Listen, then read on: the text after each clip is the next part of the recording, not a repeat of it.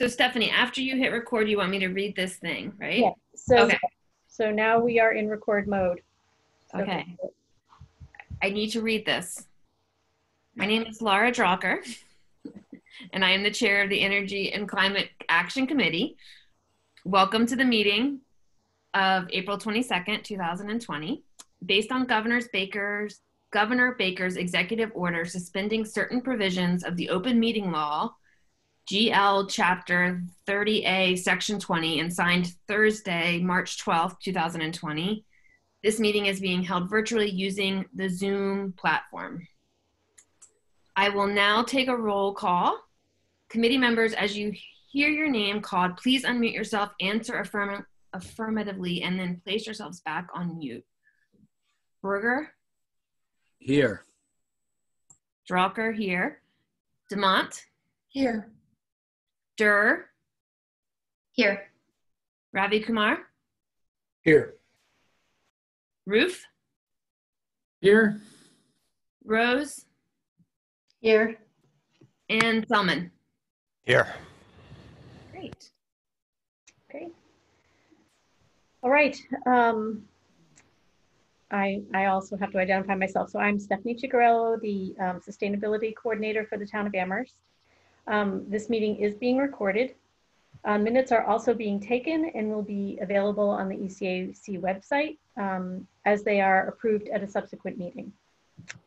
So members, um, during this meeting, if you could keep yourselves on mute and for better, better stability for the meeting, it would be best if you actually turn your video off unless you're going to speak.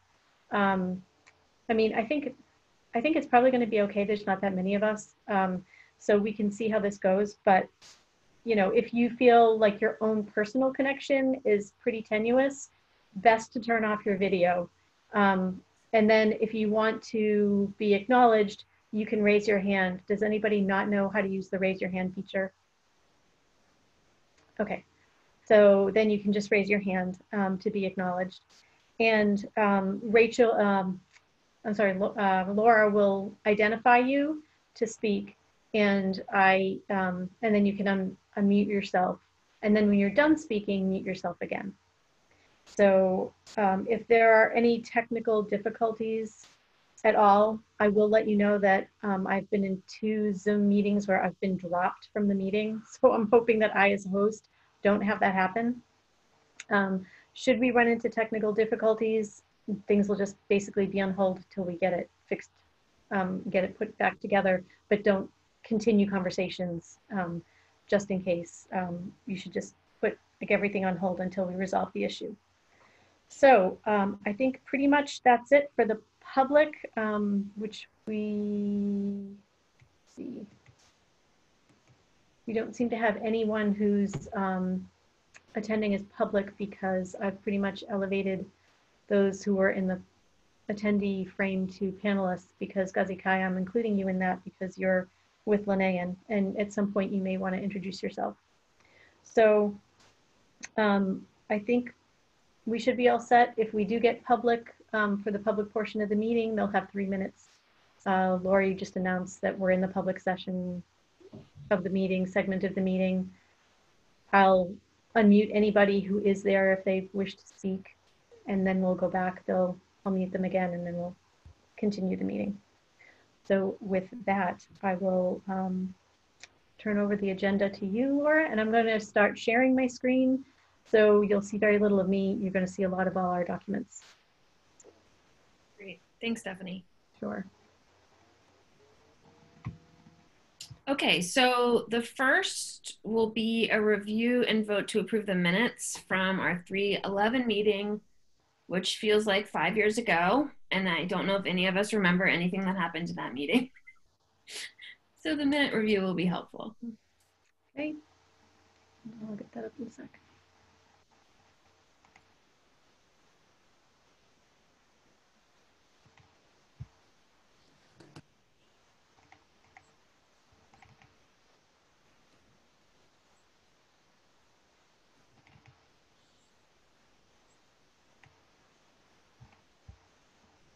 Okay, everybody can see those okay? Yes. Thumbs up are good.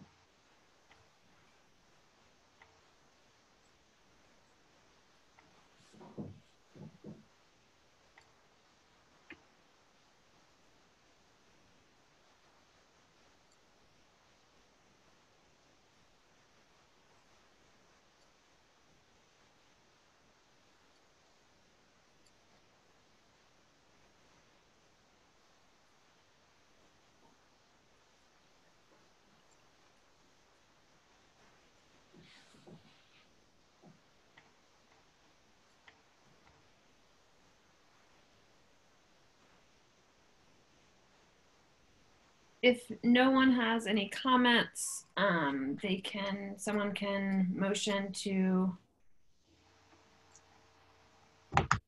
approve. So moved.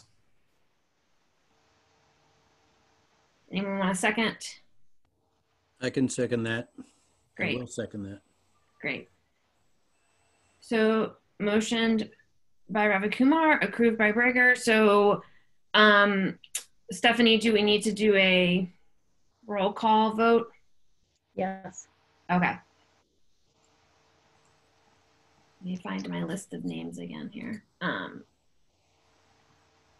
okay. Uh, any any comments before we vote?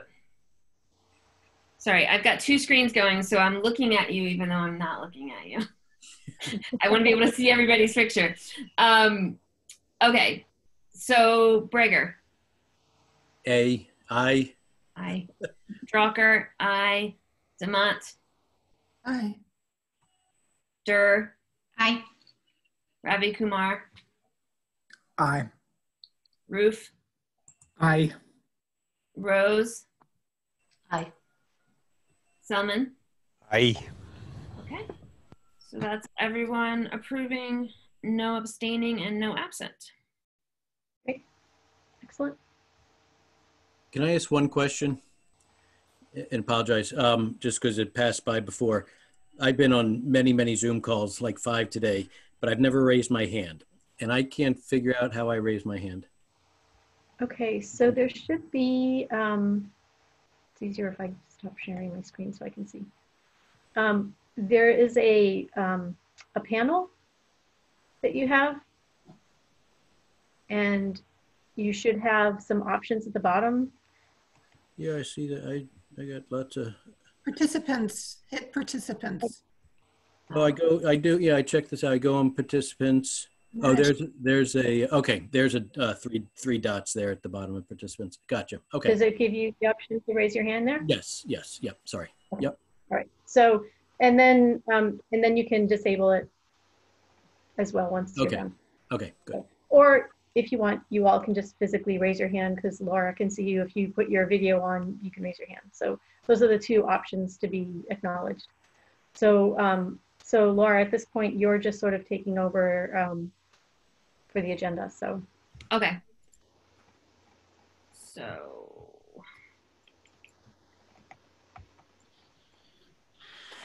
Um, public comment, doesn't look like we have anyone. Is that still true, Stephanie? yeah, we don't Okay.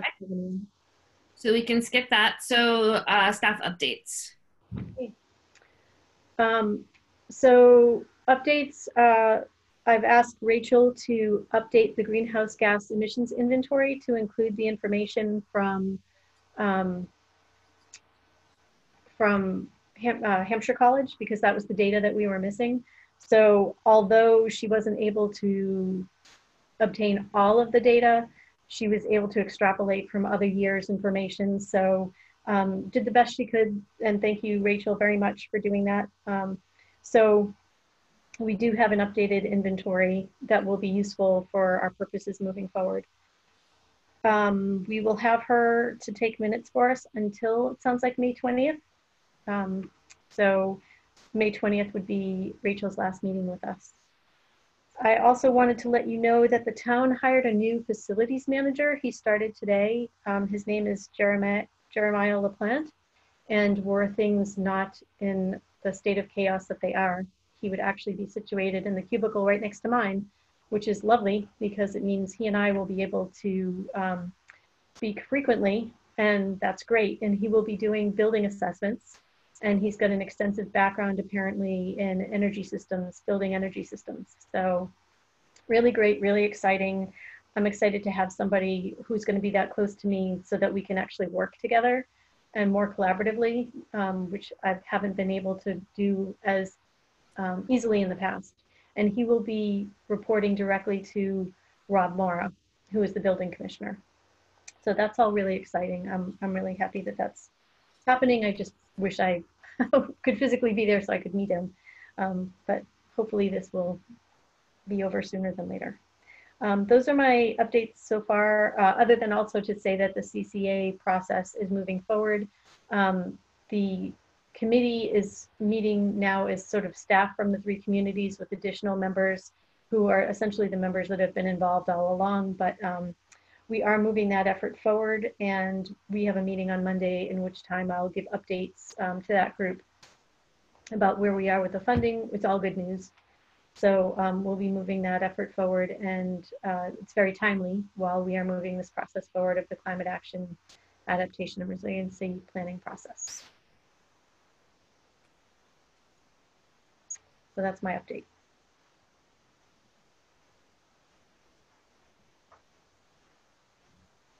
Sorry. You're still on, Great. Laura. Yeah.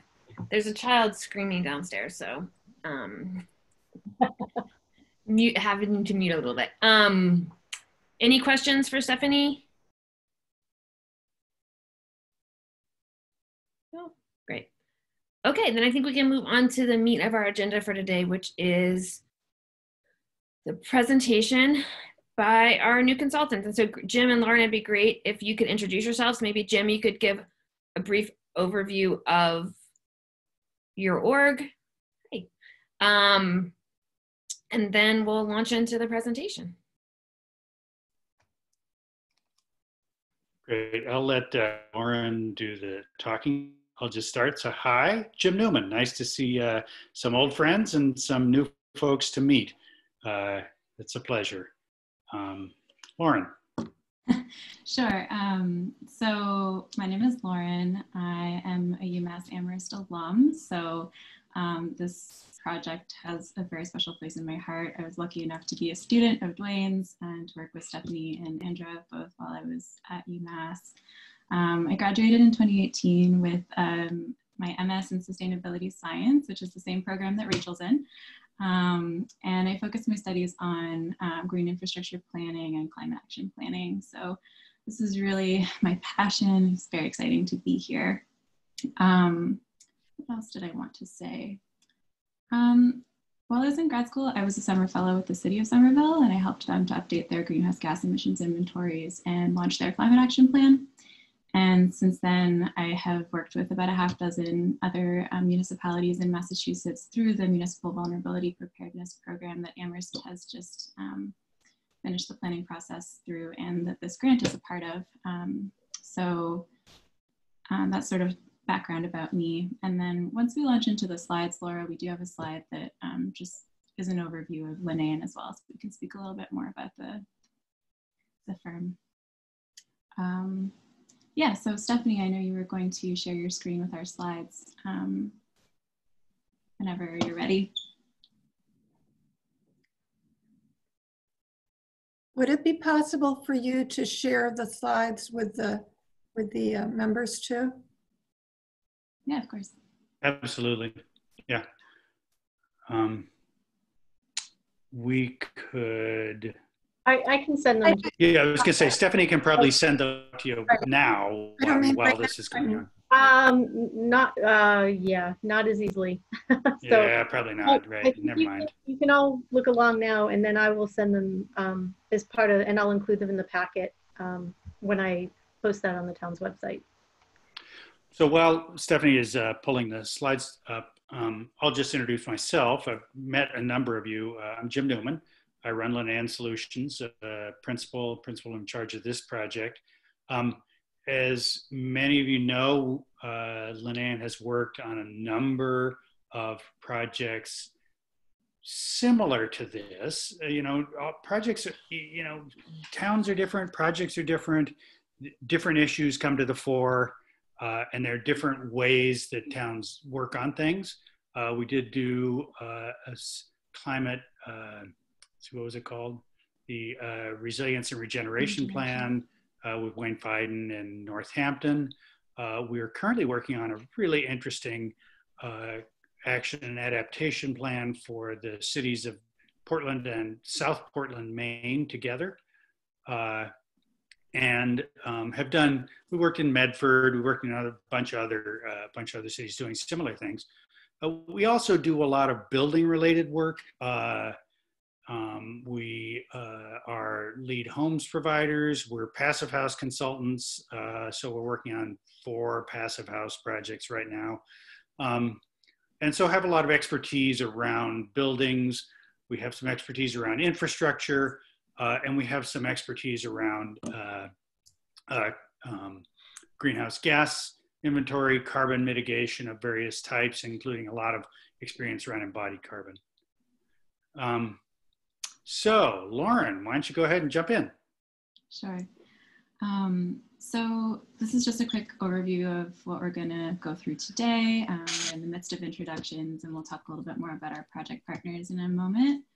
Um, and then review some of the background um, work that's already been done in Amherst around climate planning, including all the documents that we've been reviewing.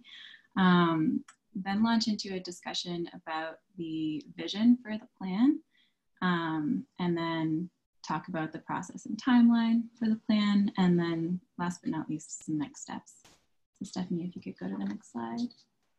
So we already covered most of this. Um, I think one other relevant thing to mention is that we're also, um, so Linnean is facilitating the campus climate resiliency planning process for um, UMass Amherst as well right now. So this is kind of a, a cool opportunity to tie together um, or to fit that work into this process as well, um, to connect those dots. And then I think um, we also forgot to introduce our third team member who's going to be supporting this project, Holly Jacobson. She's not with us today um, because she is deep into the Portland and South Portland um, work and has some deadlines, but um, she was deeply involved with the MVP planning process in Amherst and um, is a resilience consultant on, on the team. Um, so Holly, I'm sure, will be a familiar face by the end of this process too. Um, so next slide, please, Stephanie. Thanks. Jim, this is you.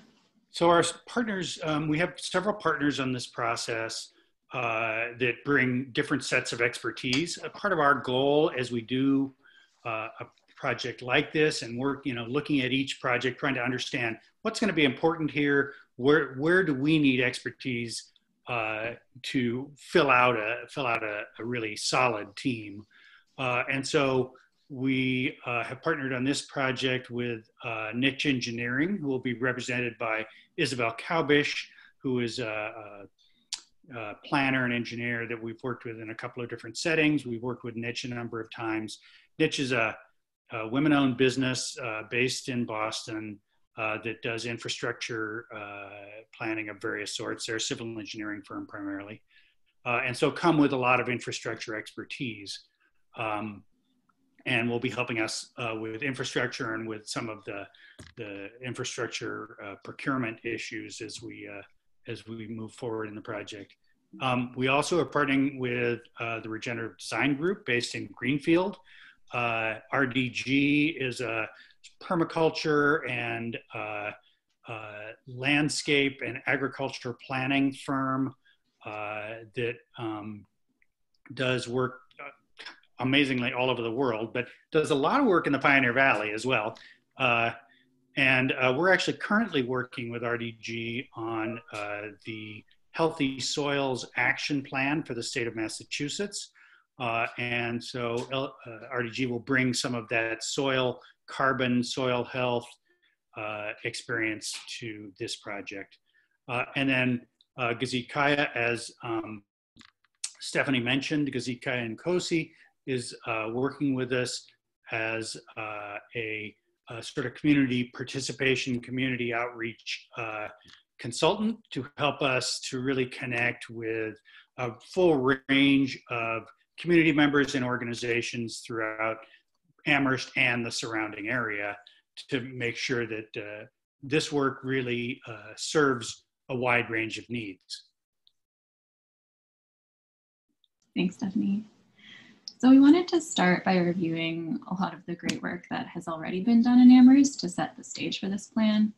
Um, of course, there's the greenhouse gas emissions inventory, which it's awesome that um, Rachel is working on updating with the Hampshire data um, that sort of set a baseline, looked at municipal and townwide emissions um, across stationary energy, transportation, waste, and agriculture, and gave a sense of where the community is moving without a, bold um, plan for action. And this is really sort of the basis for future greenhouse gas emissions reductions um, and goal setting, progress tracking.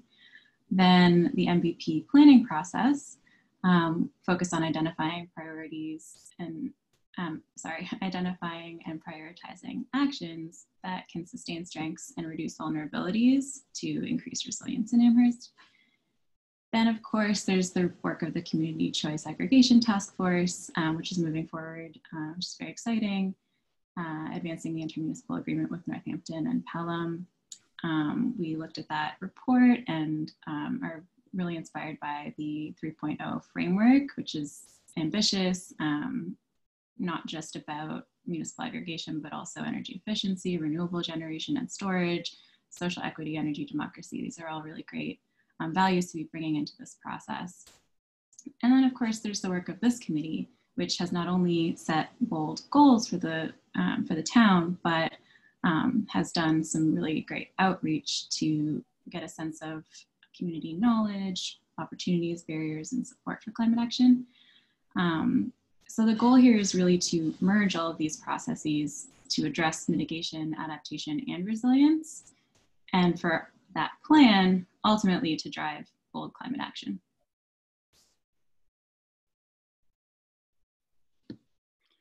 So as we start to sort of dive into this process, um, it'd be, I just think it'd be valuable for you as committee members and us as well uh, to just stop and think for a minute and get a picture in your head. So when you think about Amherst in 30 years, in 2050,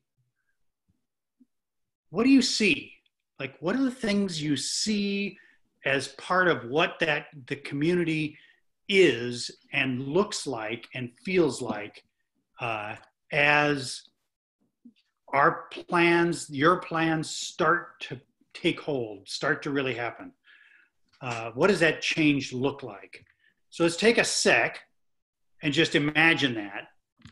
And then I'd love to hear a little about what you think. So let's let it sit for a moment.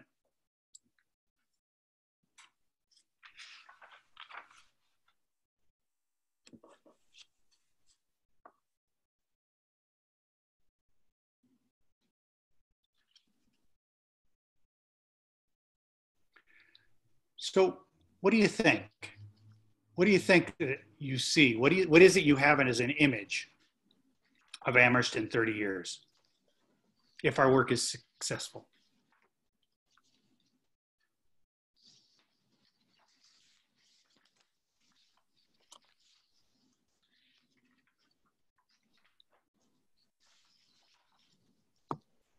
I'll go. I, yeah, I have a hard time believing nobody has an image in their minds. we all do. Um, I I see a um, well developed plan being um, implemented step by step based on clear priorities and um, the next steps already being planned in to um, well, you're saying 30 years. I'm, I'm thinking of 2030. I'm, I'm saying 10 years. So, um, I mean, 30 years, the whole uh, world economy has to be completely clean and drawing down. So, there's our vision, right? Uh, I have to admit that I have part of my vision of Amherst in 30 years is a really vibrant. Uh, I have this vision of a, a, a series of uh, mid-sized agricultural operations with people arriving to take care of take care of fields and do planting and do processing and then that food being going out to uh, distribution processes different centers and buildings sort of within the community and primarily staying within the community uh, as, as a way that the community sort of feeds itself does that work in a in a really climate positive way and uh, has sort of transformed the economy of how of one piece of what people do in Amherst. That's sort of it's like that's the little vision I have in my head. Uh, it's kind of driven by some you know a number of different things. Uh, but do others have uh, others have similar visions? Jesse had his hand up. Oh, good. Yeah, sorry, I'm not. Hi, hi, Jim and Lauren. Um, Jesse Selman. I'm a hammer Amherst resident. I thought I want to maybe just say quickly that as so we all can get to know each other. Maybe if we give, if we have something to say, we just give a quick little. I I uh, I also went to UMass. Go Minutemen, and uh, I live in town, as you know. I'm. I think it's admittedly it is hard to jump to 30 years um, with the sense of urgency and i think a couple two points i'd make about though trying to push myself to be 30 when i'm 76 i think very important that this vision that i'm having like it, the idea that it's amherst feels tricky to me mm. and i think anything that we envision in amherst in the it has to if if it's going to be anything even close to what I, we want that vision has to spill regionally globally etc and so thinking about our neighbors uh, near and far is one. And, and the other vision i have is i think is very much not sure what it looks like the physical space but the in our hearts a different culture potentially and a different way of being and a different understanding of ex- different expectations of, of what we deserve what you know what we should have i think there's like a real kind of inner change that um, that i think we i would love to see that is um, generous and loving and kind and courageous. Um, and I'll leave it at that. It's pretty beautiful vision. Um, I, I, have to say, uh, Jesse, that uh, first, hi, it's nice to see you. Um, uh, the idea of leadership, not to leaders, but leadership to help move the things that need to move. Uh, I think is really, really fantastic vision.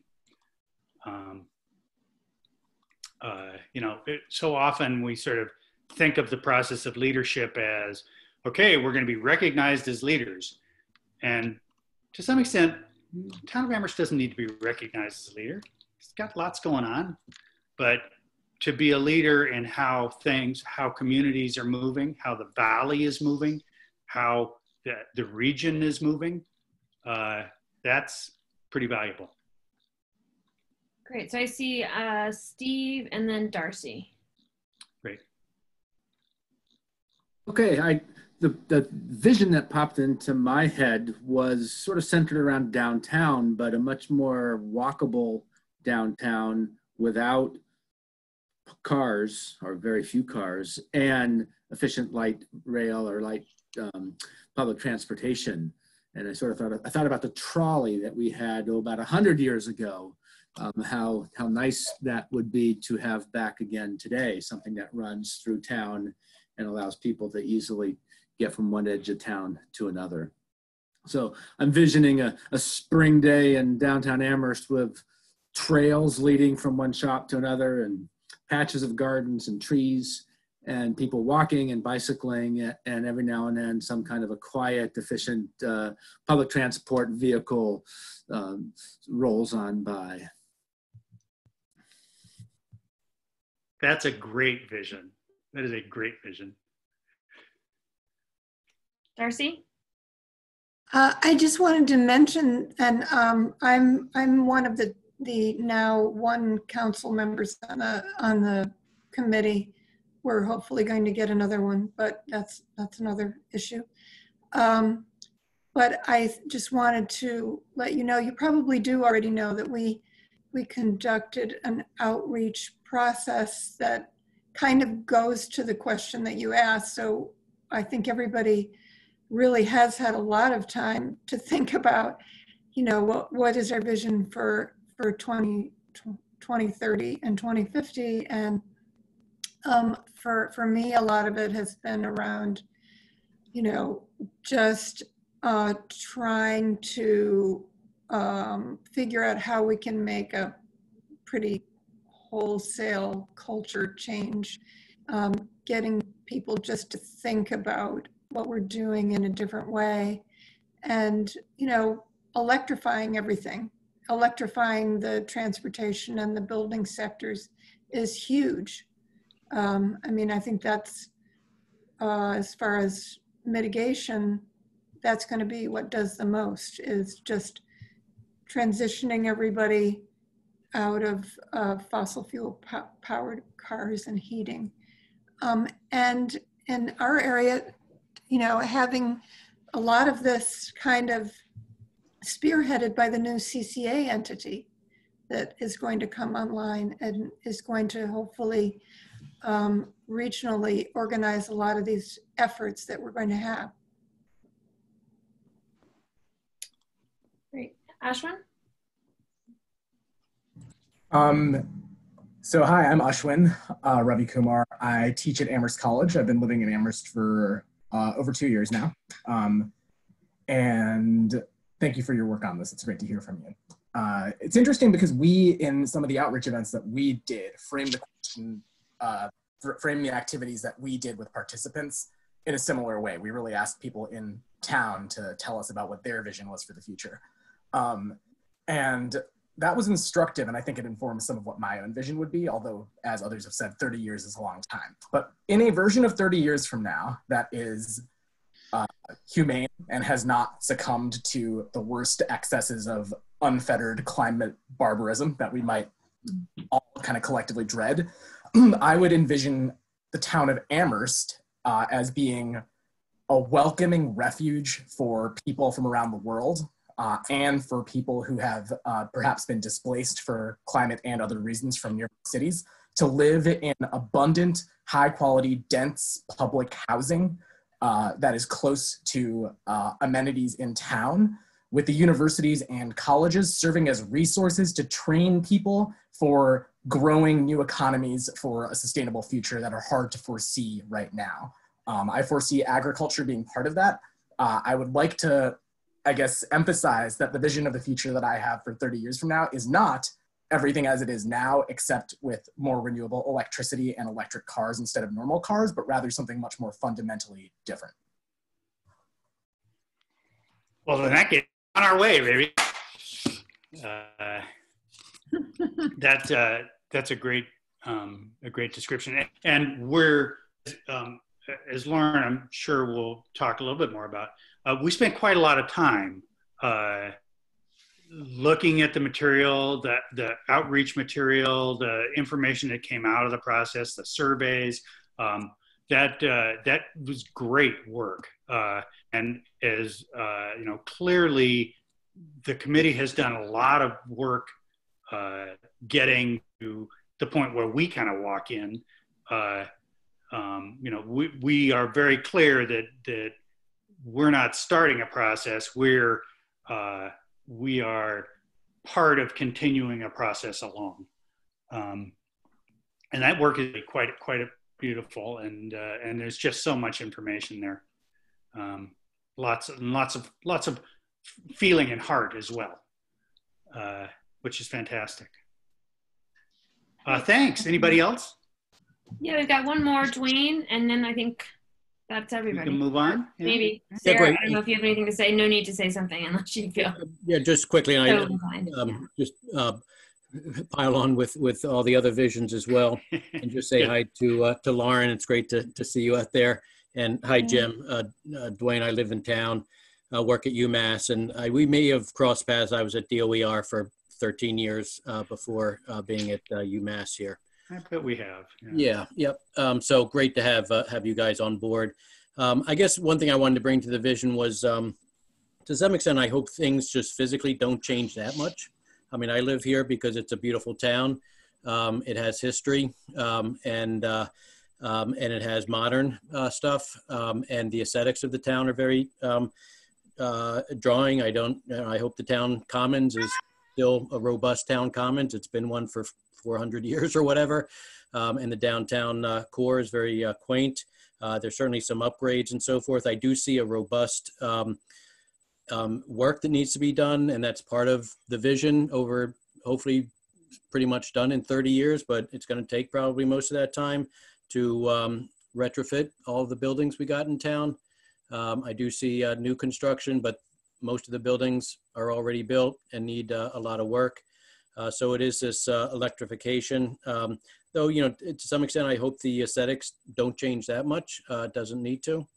Um, but um, again, I think it's, uh, as sort of has been mentioned, a lot of the change and vision is not so much physical, but um, psychological and emotional, and just uh, people's um, relationship to energy and climate, um, and really a, a, an opportunity for this relationship to be much more direct, where people really um, understand and, and uh, uh, take pride and, and ownership uh, in, in a very um, financial way as well uh, in energy um, activities uh, and assets in town. Uh, that can be done through the CCA, for example, is what we're looking at. Um, and but also just have a consciousness about them that is not um, necessarily explicit, and we don't wear it on our sleeves all the time, but it's just part of the way that we go about doing business. Um, I do. Um, I, my vision is that uh, there still will be a lot of, of um, car-based transportation uh, as opposed to public. I don't know if if um, uh, we really have the wherewithal to, um, you know, every time I want to run into town to um, take out food, uh, to jump on a on uh, on uh, public transportation, but but quiet, small, personal, um, maybe autonomous vehicles, uh, maybe on-call vehicles that come to us when we need them um, would be um, super. I could use one when I'm uh, 30 years older. Yeah, I have to think of how old I'm going to be when in 30 years. Yeah. It, uh, hmm.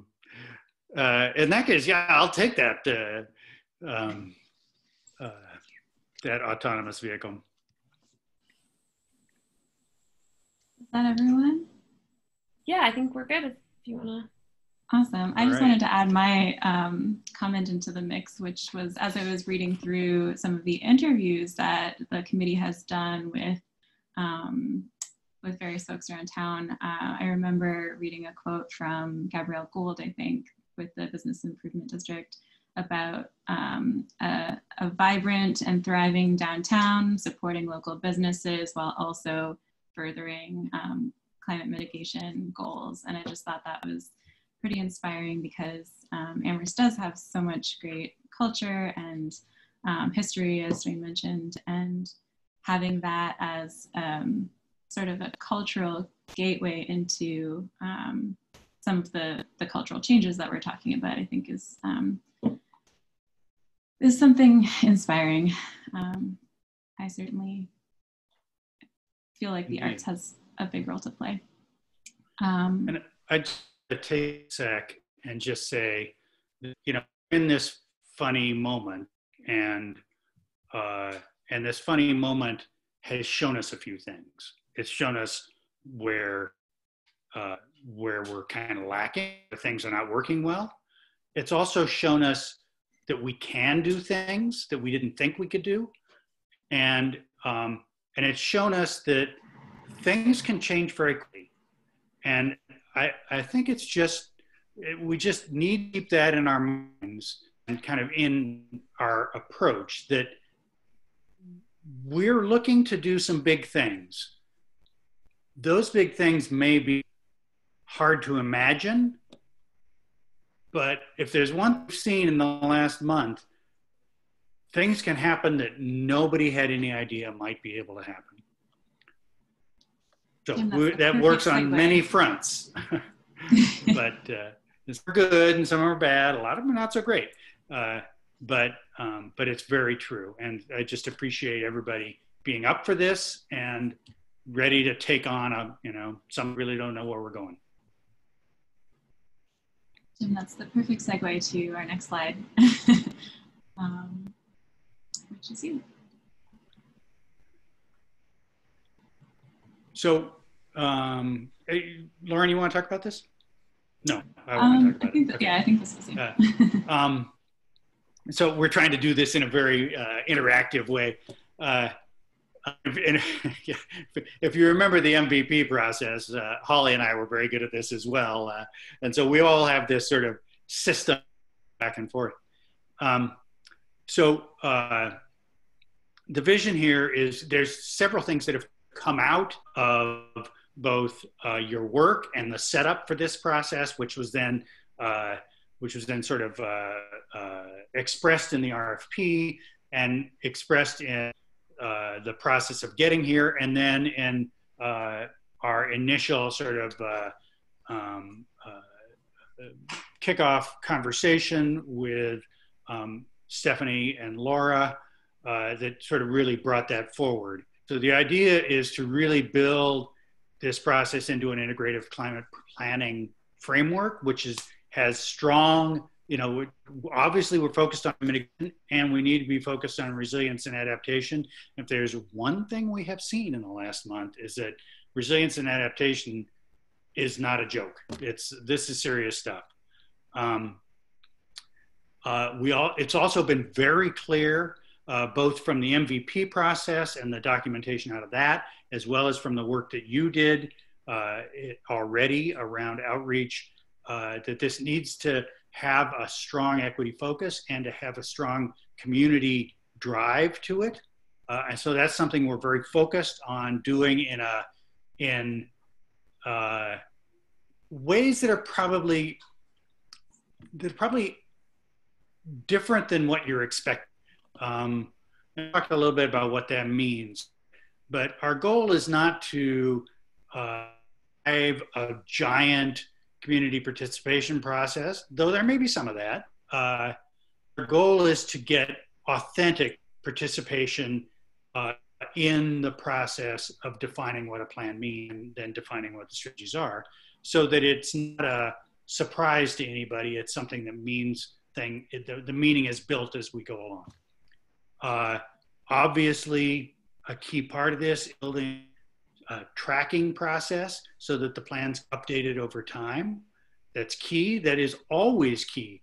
Uh, and then we want to make sure we identify goals and strategies that are meetable, that are that we can make our way to, and that drive us forward uh, over time. Uh, part of that is uh, identifying sort of what are the changes and actions that need to happen with uh, town budgeting and potentially staffing. It sounds like some of that work has already started to move forward, and uh, and then also, you know, the the funding process for a lot of these is going to be uh, uh, it's going to be a trick for for a town the size of Amherst, but it's not impossible. And there's many different ways to approach these uh, the things that uh, everybody sees needs to be done. Great. Um, Steve and Ashwin, do you guys still have comments or have new comments or questions? Oh, no, sorry. Oh, that's okay. I can't figure. I don't think I can turn your hand off. So No, you have to turn your own. Yeah. Okay, I'll drop my hand. You're welcome to speak. Well, please. Uh, absolutely. Please uh, feel free to unmute yourself and holler to stop us if you need to or uh, or raise your hand or uh, yeah, any number of ways to uh, it's a small enough group i think we can we can stand everybody talking. Um, uh, lauren Um, so as Jim mentioned, of course, we're focused on mitigation in this plan in a big way. These are just the goals that the committee has recommended to the town. Um, town has adopted, 50% reductions townwide by 2030, um, with an interim goal of 25% reductions by 2025, and carbon neutrality no later than 2050, but preparing for carbon neutrality sooner than that. Um, and that will involve a lot of different strategies that will be developed over the course of this plan, um, as well as advocacy at the state and federal levels and adoption of new technologies.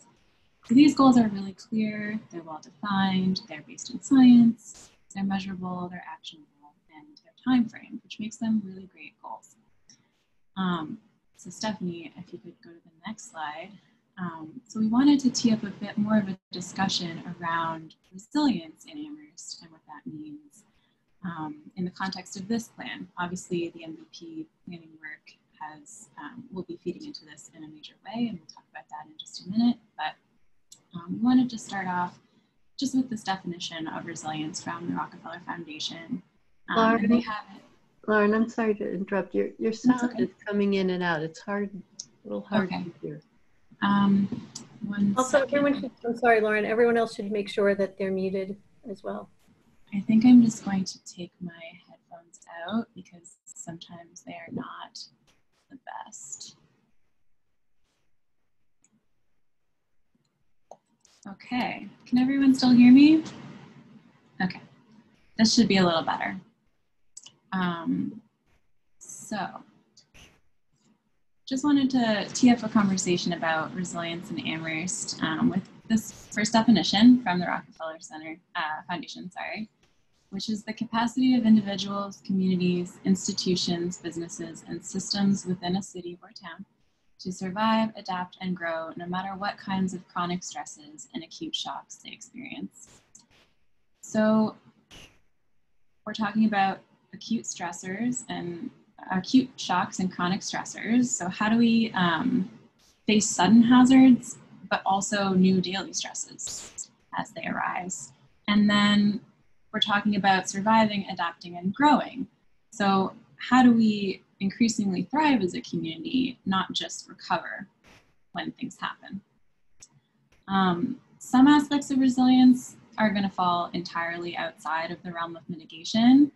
Like the classic example is stormwater infrastructure, um, which doesn't really tie in with carbon reduction, unless maybe if you're talking about green infrastructure, but is so critical from the resilience standpoint. Um, and whereas other resilience considerations will overlap with mitigation, such as um, passive survivability in buildings and energy efficiency. Um, so Stephanie, if you could go to the next slide. Thank you. Um, so what does resilience look like for Amherst? These are drawn directly from the um, MVP planning report. Um, so in purple, we have infrastructure resilience priorities. In pink, we have societal, uh, societal resilience priorities. And in green, were environmental resilience priorities that were identified through that process. And I thought this would just be a good way to sort of bring it back to um, what what came out of that process, what were the priorities that were identified by the community during that process. Um, and it was things like resilient food production and distribution systems that we talked about. A lot of these things are related to everyone's visions. Um, empowerment of vulnerable populations, um, sustainable and resilient buildings, um, water infrastructure and water security. These are all things that we're going to want to be addressing over the course of this process.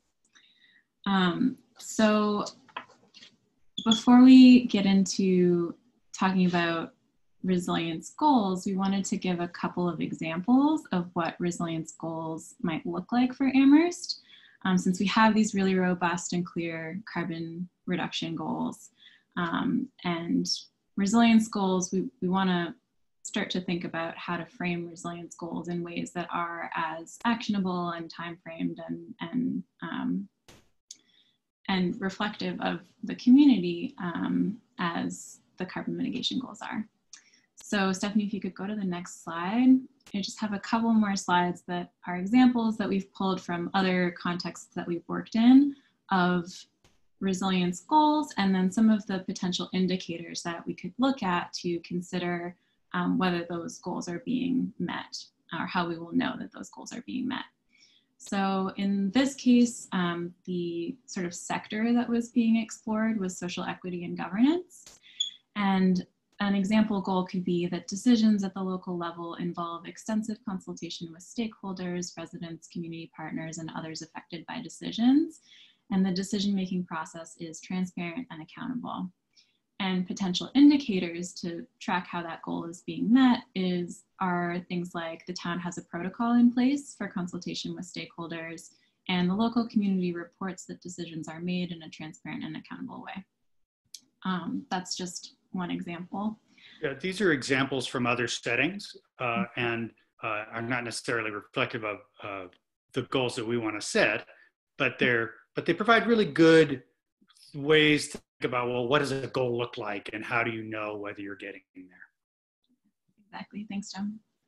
Um, so Stephanie, if you want to go to the next slide, um, it's just another example from another context um, for infrastructure and environment resilience goals. So that could look something like a goal where the natural environment and the built environment in town work together to make both the local community and local ecosystems more resilient.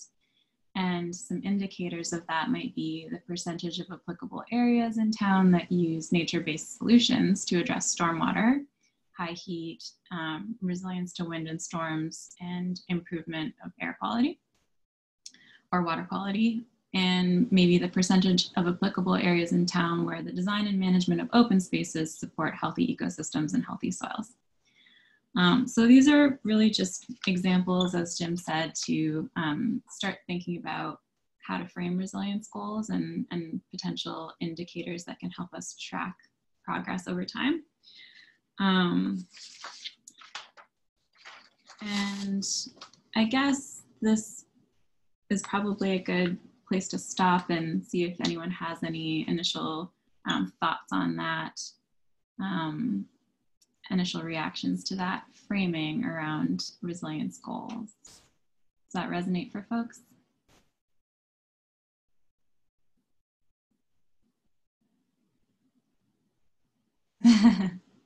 Everyone's still mulling it over. Jesse. No, no news is good news. Yeah. Jesse and Ashwin, yeah. I'm going to try not to be too irritating. Um, it's not easy. Jump in. Yeah. I it there I I think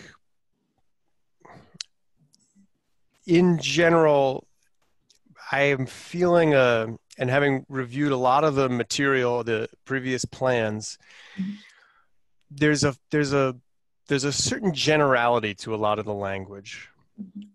Uh, which I find challenging and and I think if if I think you're going to find this is a this is a smart group that's thought about this a lot. I think we're pretty well along, and and I know that what we're looking at might not be something for us as much as for a town, but I'm there's a the general language to me is displacing a sense of urgency, and I think that's going to be the my phrase potentially um, of this is, is I I am craving extremely actionable, extremely nuts and bolts, extremely not plan on a shelf. And I'm not accusing you guys of doing this, but one of the things I had said at a previous meeting was like, if we could have our climate action plan be five pages long and not 50, that sounds like a win to me.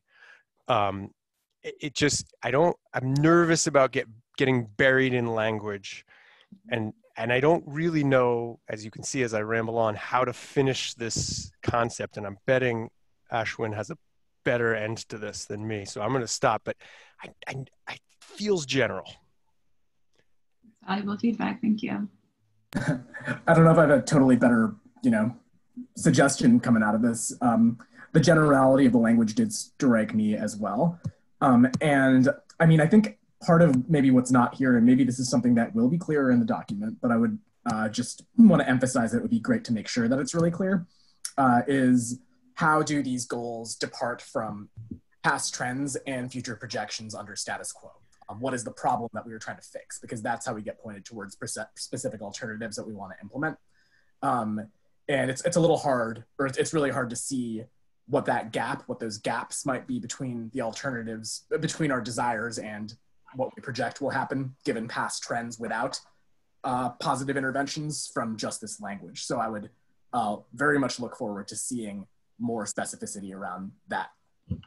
Yeah, I think that's that's an important note for a few different reasons, but one of which is just that resiliency goals, as you've both pointed out, do tend to be a little bit less sort of concrete than um, carbon goals. And I'm hearing that specificity is really the name of the game for this committee. So um, that's that's awesome. It's really great to hear. Yeah, and I mean, I think if I am reading your presentation correctly, this is just to note that you haven't seen in our in our initial goals resiliency, which is true. It's not in those goals specifically.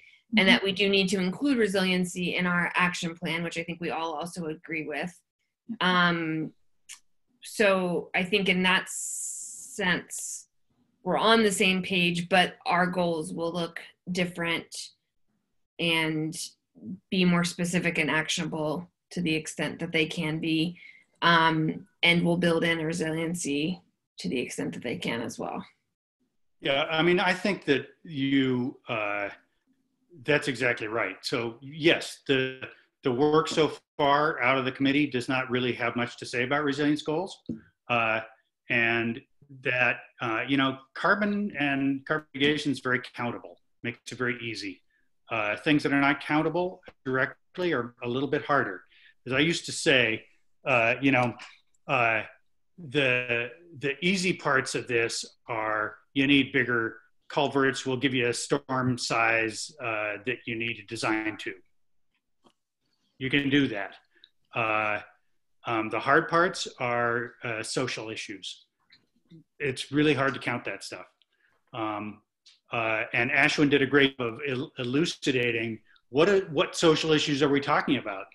So we're going to want to set some really pretty specific goals and ways to count those social issues as well, because we know that social uh, resilience is a key to how a community uh, moves forward. Ashwin, you were about to say something. Oh, sorry. No, I, I don't think I was. Um, oh. I think I think we're good. Um, okay, good. And so obviously we yeah. need to set those those goals. You know, part of what we're doing here is we're just kind of pushing and saying, okay, here's some other things. It's like, all right, you don't like those so good. Well, let's pick some better ones. That's great. Yeah, Stephanie. So I just wanted to say that, um, you know, the resiliency piece is important, especially in light of where we are right now and some of the things that it has really brought to the forefront and what I'm experiencing, and I'm sure others are, is just the incredible inequity of how we're communicating right now. So I feel like one of the pieces of resiliency in terms of what, you know, it's a, a piece of what we're doing in terms of climate action is that we do have to look at communication, which came up as a very primary issue for um, a very different, definite segment of the town's population saying that that piece needs to be addressed as part of resiliency. And this is important because if we're talking about climate emergencies as we move forward, communication is a piece of that. And even though it doesn't seem like it's specifically a carbon issue, it most certainly is an equity issue. Um, so it is related and it is important to build that into the resilience. And again, a reminder that this process is um, funded by MVP. And so resiliency kind of has to be a piece of this. And some of those issues should be addressed because they were identified by community members. Definitely. Can I just add real, real quick there that uh, I, I totally think that resilience in the plan, having resilience in the plan is essential. Um, it's incredibly valuable. Uh, the vitality of it is is on display right now. Um, in some ways, I actually think that um, we might even be able to think bigger uh, with what we mean by resilience than what is in these goals. Um, because for a long time, a lot of conversations about adaptation have turned on green infrastructure. I love green infrastructure. Green infrastructure is great. Um, but given the magnitude of effects that climate change is likely to have, it's not just having culverts and green infrastructure to be resilient to more, se more severe and more frequent flooding events, but also potentially disruptions to supply chains, uh, events that really knock things out in town. Um, and, you know, what will the municipality be able to do to deal with those kinds of situations? Uh, how are we going to build capacity for, again, potentially refugees? Is that something that we can be thinking about? Um, and another thing that just kind of came to mind in terms of resiliency during the current crisis um, is that a lot of like kind of informal mutual aid networks have sprung up uh, in Western Massachusetts, also really around the country and world, uh, to provide services, peer-to-peer help for people that like need groceries, uh, to have wellness checks, lots of stuff like that. And I found myself in trying to find ways to plug in right now, uh, kind of wishing that I could plug in through the municipality without having to rely on these sort of informal mutual aid networks, which as much as I laud them, uh, I think tend to replicate existing kind of structural inequalities and exacerbate some of the inequities that come with uh, a pandemic or an, any kind of an emergency. So are there ways to also think about having robust data and information on who's where and who is vulnerable and how uh, we can come together to help our most vulnerable residents in times of crisis. Yeah, totally. And I would add to that the the the infrastructure of people, like culvert. Like, I'd rather have ten more Stephanies than a culvert, and Mhm. right. And I think realizing that this human beings who are trained and capable and communicative and understand this, like ready to go.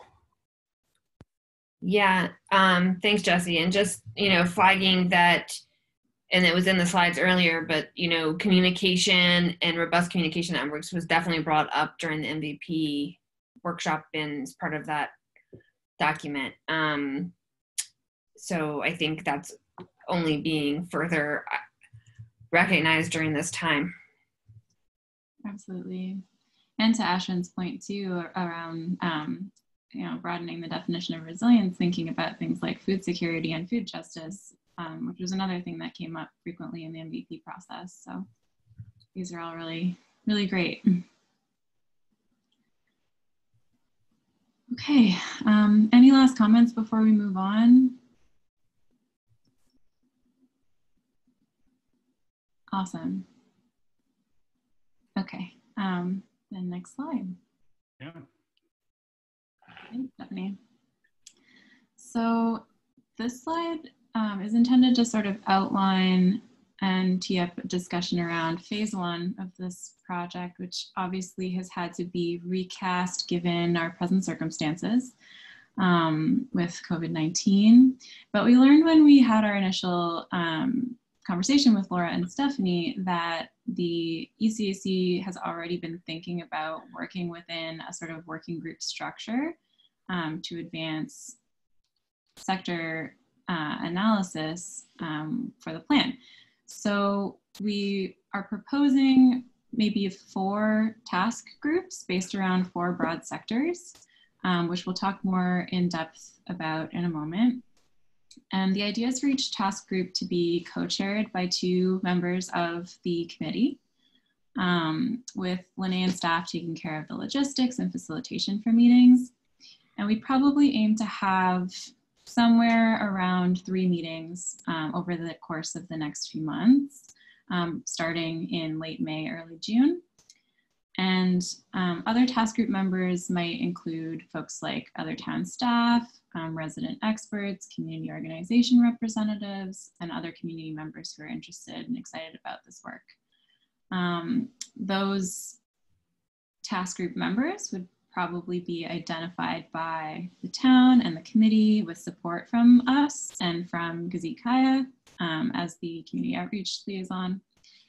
Um, and I'm gonna just go through the rest of the slide first, but then circle back to this idea of sectors um, for a little bit more discussion. So phase one um, will have the task groups as a focal point. We're also aiming to do a lot of community participation planning to be ready to really hit the ground running once that becomes feasible again. Um, and then we also are proposing two other analyses that will be led by our partners um, that we think could serve as meaningful complements to the existing plan framework that the committee has drafted. So the first is a soil health and soil carbon analysis led by our regenerative design group that we talked about at the beginning based in Greenfield.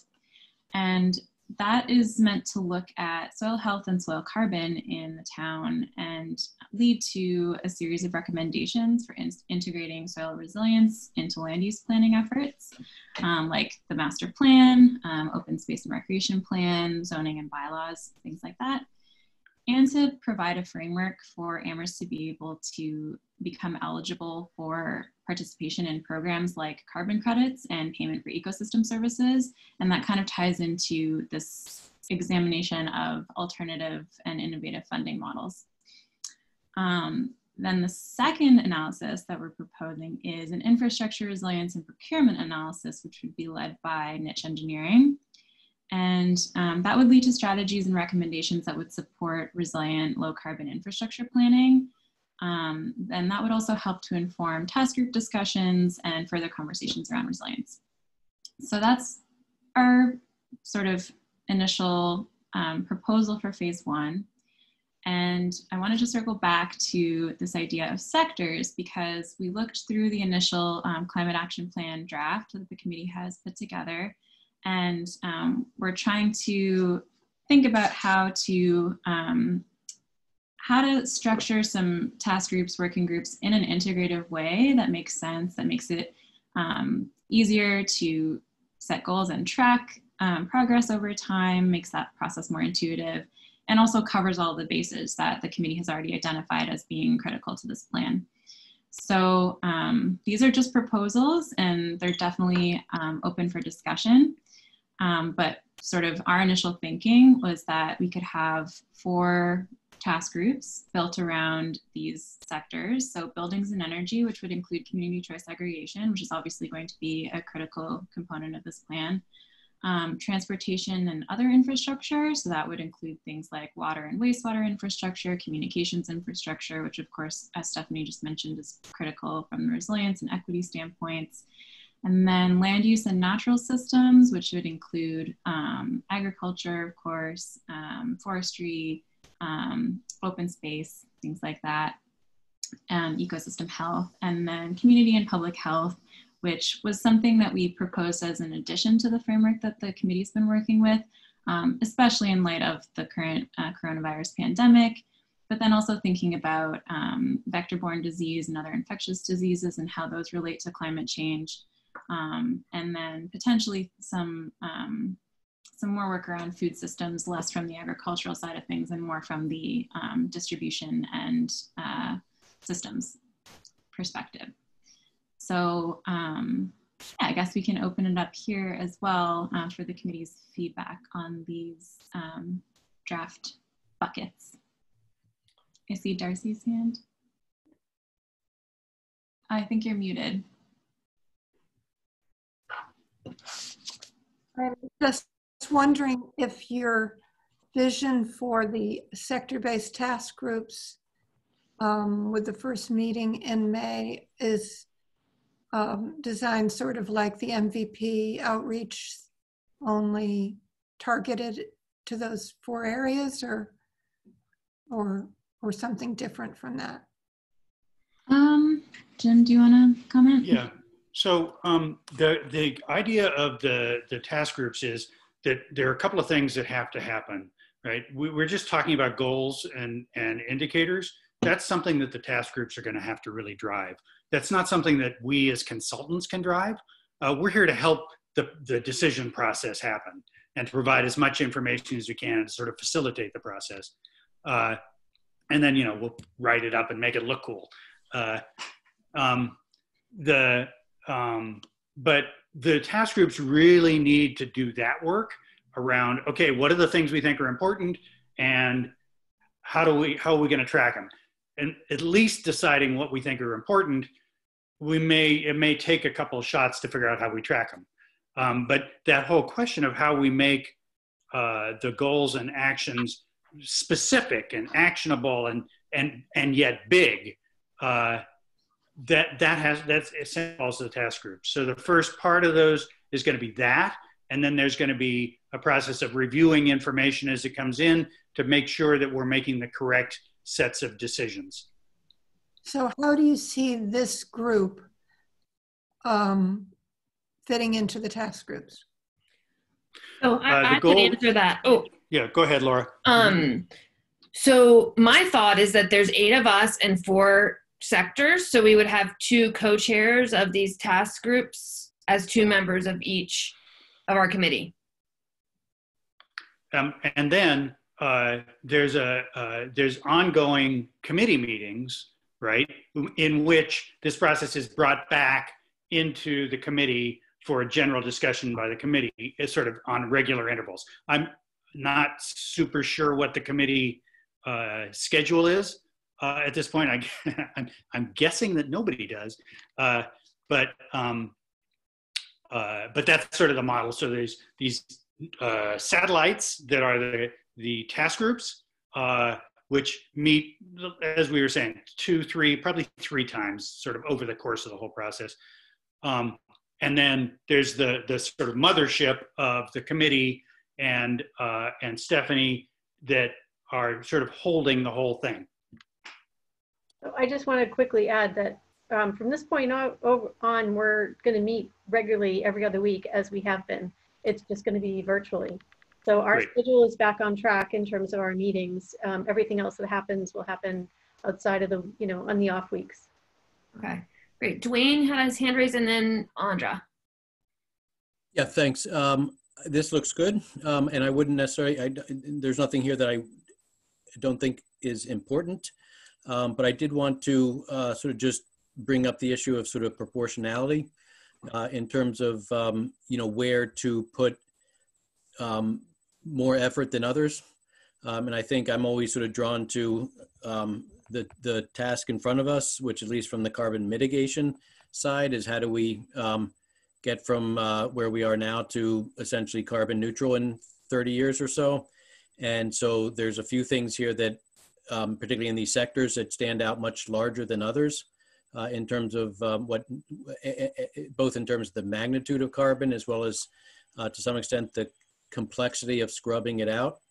Um, and uh, while all, and, and I think all of them, all of them would need sort of community participation um, for sure and the sector-based task force. But I would just like to, um, you know, suggest that that um, there really needs. Uh, I, I, would like to sort of see more um, as we move forward, some sense of uh, proportionality. And and I'm not suggesting you're not thinking along those lines, but just in terms of where uh, where we put more effort than others uh, in terms of getting to the, an actionable plan to get to where we need to go. That's great, Dwayne. Um, the one th- I, uh, that we can't i don't know how to say this, but I'm just going to say it. Heck with it. Uh, um, so obviously buildings and energy is like, is the key sector from the, from the carbon mitigation perspective. Although transportation is also a really big sector. So those two are, are really big in terms of mitigation. But the other thing is that this whole idea of soil carbon really lands in the land use section. And it, you know, if you look at soil carbon and soil carbon potential for sequestration, it's about as big as the transfer, transportation sector in the town. Uh, and so it turns out that those three are actually pretty well weighted in terms of uh, in terms of mitigation potential, uh, and that you know, we haven't really talked about the soil health thing, but but uh, there's a lot of work going on in this right now, and uh, Amherst is in an interesting position where it has this very diverse land use uh, uh structure that makes it um, makes it is the wrong word, but allows it to be uh, uh, to, to do a lot in this uh, in this realm of land use understanding, carbon sequestration, conservation, and what development looks like in terms of carbon uh, sequestration that uh, I think is going to turn out to be pretty powerful in this process. Uh, and so the, the place where probably mitigation really does not play is in community and public health. But if you think about community and community design, which is really about land use, there may be some issues there as well. But certainly those three categories are the strong ones in terms of mitigation. Yeah, and I would I would add that um, I think my vision, sort of what I've been envisioning, and what we've talked about as a group, and to Jesse's point earlier, like I really want our plan to have a very concise executive summary that has like in the next three years, these are the main things we're going to focus on, and that's going to pull. And it may be that all all of those come from just one or one and a half of these sectors, right? And then the rest of them we're looking at longer term things or things we need to do that are more collective in, in nature and or things that we need to push for policies at the state or national level to do um, so Dwayne, I think that's a really important point um, you, you noted there. Yeah. Uh, yeah. Andra, you had your hand raised. Sorry, could I um, say one thing on that before we move on? Um, I also just wanted to add, as we're thinking about um, the procurement analysis, that that's another place where um, carbon mitigation is going to come into play. Um, a lot of the work that um, we're hoping Nitsch will do, or we're envisioning Nitsch will do, is around low carbon procurement um, which can actually have quite a significant footprint. Um, so I think that's another important thing to note. And then Dwayne, you, you brought up community participation and I really just wanted to um, touch on that and also like smack myself on the wrist because um, I had wanted to say this from the beginning of this discussion and because it's by no means an afterthought, but um, community participation as well as equity are really things that we've heard from Stephanie and Laura and from the work of the committee are things that really need to be embedded within all of these sectors. Um, so that's something that we're very cognizant of and um, we'll make sure is at the forefront of the process. So sorry, Andrea, I cut you off. Yeah, um, yes, very much along the same lines as um, everyone else saying here. Um, I do think that we should consider um, the timeliness of each of these in terms of how much of the, the, the committee members' energy should go into it. Um, if we want to have a lot of detail um, in the building and energy section, then um, we should have more people involved in that and um, if some things are more long term um, and dependent on other factors, um, for instance, transportation is really a regional issue here. Amherst doesn't have its own um, transportation system. We, we have a regional bus system. Um, and anything we do has to be done in, in that context so I don't, I'm just not sure about the, the four groups. I don't see them as equally weighted. So, so Andra, so just to clarify, because I don't know, maybe this wasn't super clear. Um, so the idea here is, if I understand it, is that we've got these four groups with two members of the committee as co-chairs, but the groups are actually going to include people from our community. We've talked for a long time, I think even from the first meeting, about the need to bring in other experts from our community. And so, so yeah, so it we may find, but and we've had people in our community interested in all of these areas. And we may find that the building and energy group requires a lot more input. Um, but I, I don't think that I would necessarily say there should be only one committee member as a chair of one of these groups and three of another. Um, so does that answer your question, Andra?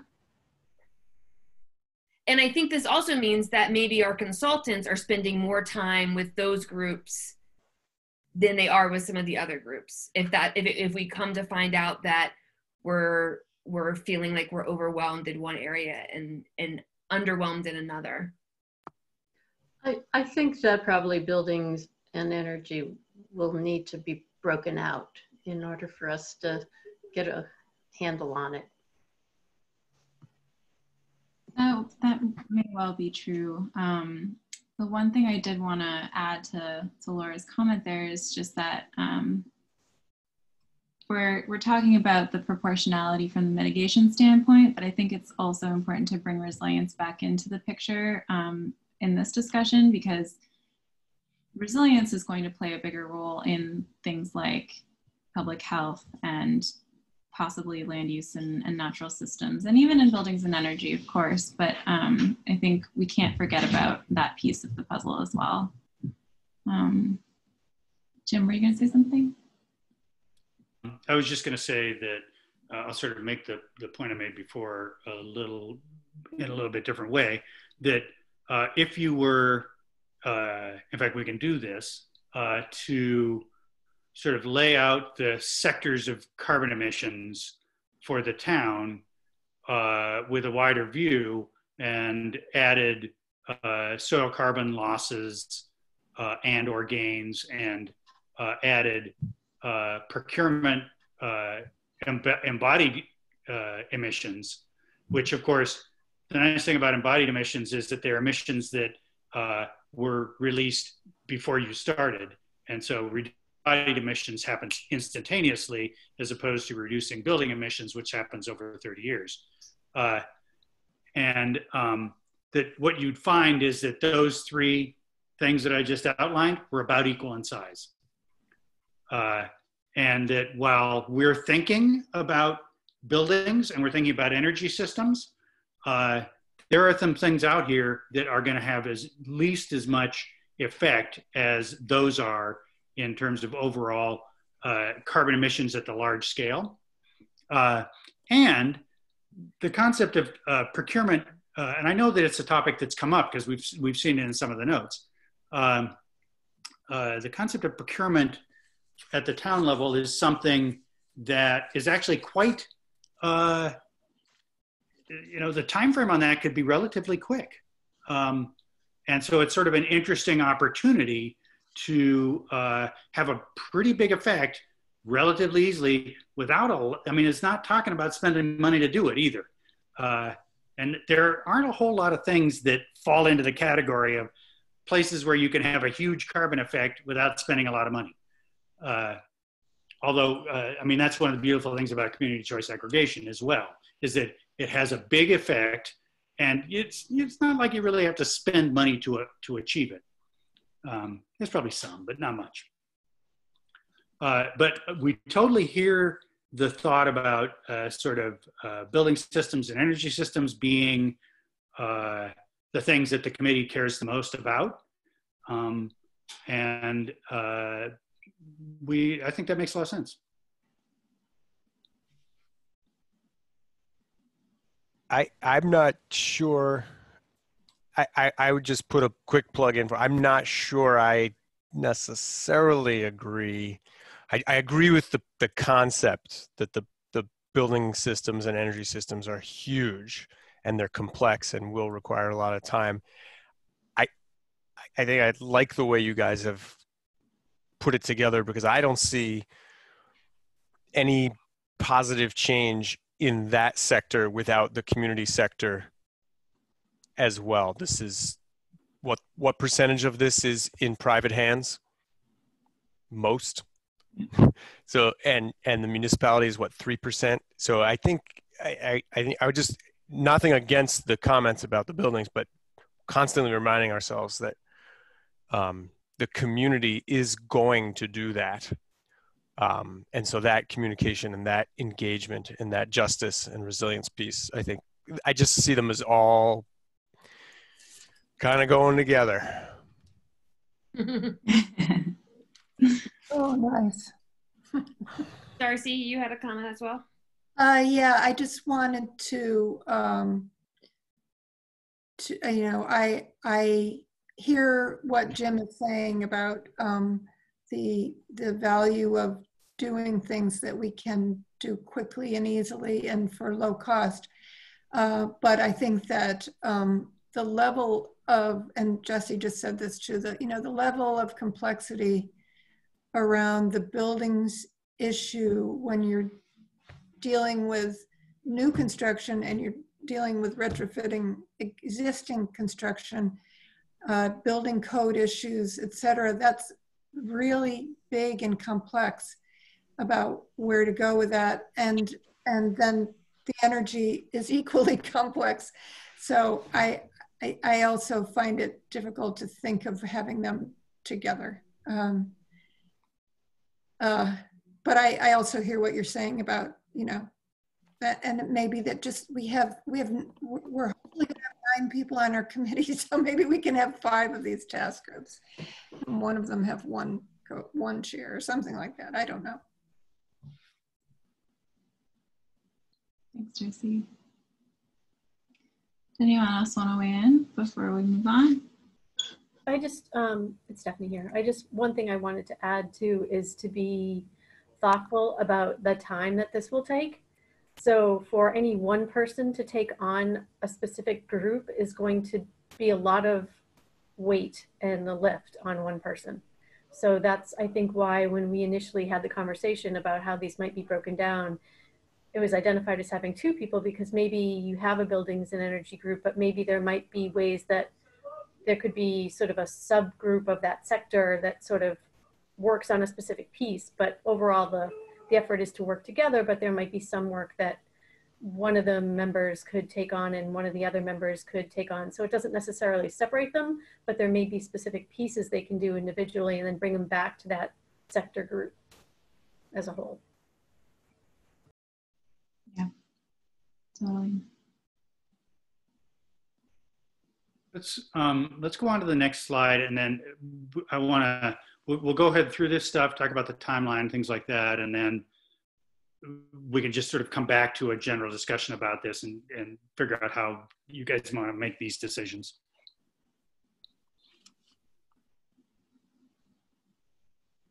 Stephanie, going to get to the next slide, please. Thank you.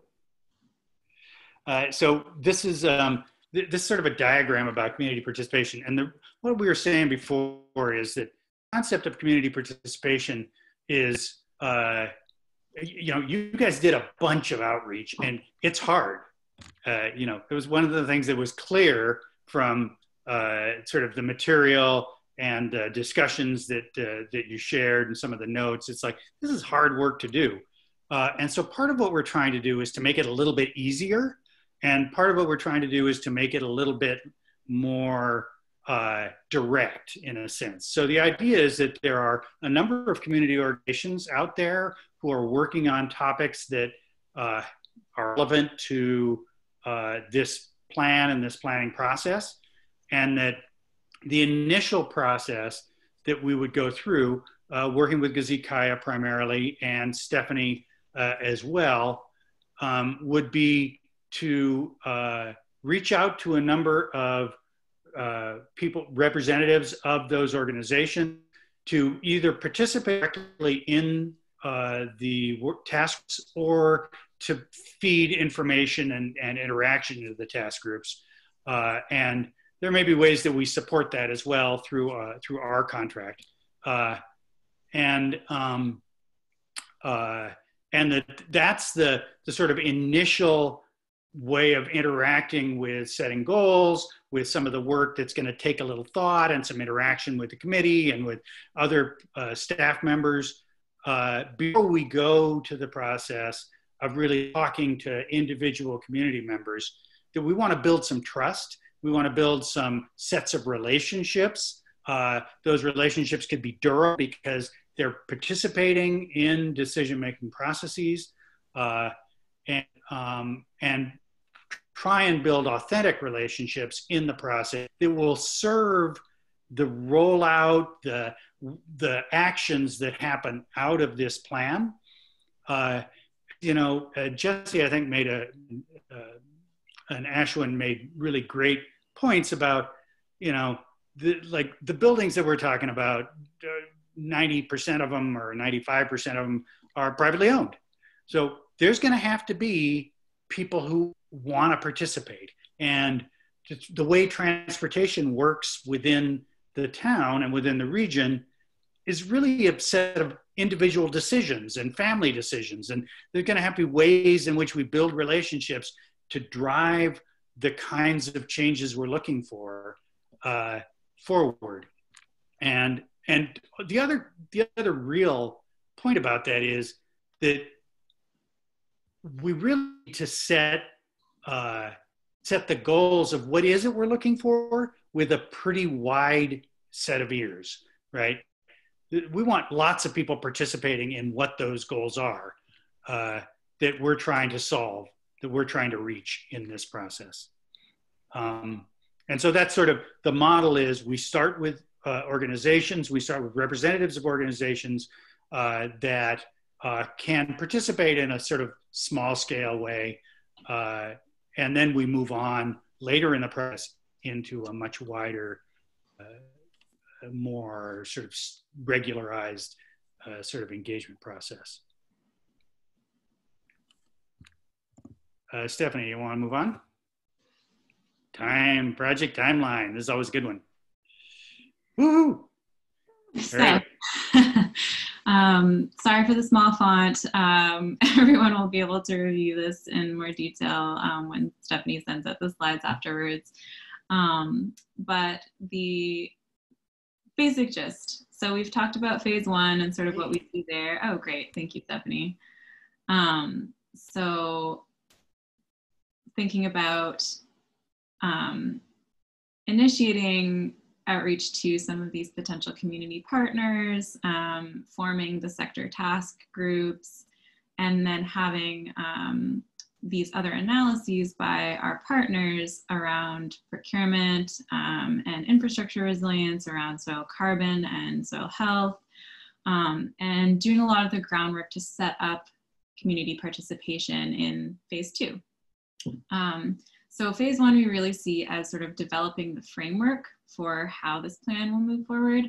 And then phase two, which will start mid-June, mid to late June, um, will be strategy development. So this is where the meat of the, um, I'm vegan, I shouldn't say meat, the bulk of the um, strategy development will happen. Um, most of the task group meetings, we wanna kick them off in, at the end of phase one, but the, the task group meetings will really mostly be um, happening in phase two. Um, and then later in phase two, if feasible, hopefully it will be by then, um, having some of those larger community meetings. Um, and then throughout that process, thinking about evaluation, monitoring, tracking progress, and how we're embedding that into the plan. And of course, consolidating all of the outcomes and feedback from those meetings, which will then all feed into phase three, which is really about plan development. Um, so that will start around, I think we have it set for October, November. Um, and that's where we take all the strategies that have been um, developed and prioritize them, present that to this group, uh, and really start drafting the plan. Um, so that's sort of the timeline that we're working with now. Of course, um, things may shift given uh, the situation with the pandemic, but this is sort of how we see things unfolding. Um, yeah, I think that's probably um, good for that. Any questions? Quick about questions about uh, schedule or any any of those. So I think where it differs from um, the original uh, schedule in our proposal is really that um, phase one because we're not in a position right now to be able to um, have meetings right now, uh, public meetings right now. We're, we're concentrating that in, in phase two. Um, but otherwise, pretty much aligned with the original proposal.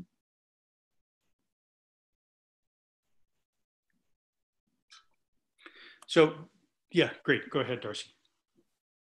Is what is there any reason why we can't have virtual meetings, uh, outreach meetings? And I'm I'm asking that because I, you know, it's not out of the realm of possibility that we won't be able to have outreach in-person meetings in the fall either. I, I would agree with that. Um, and the answer is no, but uh, the the real the the thing we're concerned about is um, that in order to really uh, bring people into the process, there, there has the the relationships. There, there has to be some time of building relationships, um, and because we can't, you know, pull groups of people and go visit different things and go visit churches and uh, you know sort of all those ways in which you build trust that we're sort of counting on this uh, working with organizations process to build that and i also think sort of so that sort of that will happen virtually right? Uh, and um, the, the other part of that is i also think that it's it's a process that gets uh, representation, if you will, although it's sort of a silly word in this case, but gets representation into the process of setting goals, which is going to be very hard to do at a public level. Uh, and so it has two advantages. One of them is that uh, it builds the trust that we need in order to do bigger uh, um, sort of gatherings or meetings, and whether those happen virtually or not. Uh, and the other is that it um, it actually works well for this process. Uh, for in in the same way that the committee itself uh, is effective because it's not huge. It's the people who really care. Uh, that that sort of same process works uh, in in the task group formation. I'd like to jump in if I could on this issue because Yeah. um, I've been involved in meetings that have tried to be inclusive and include translation, and it has been virtually impossible. I don't think there are any, at least available to us at this time, there is no real platform that works well to incorporate inclusivity in a way that is meaningful.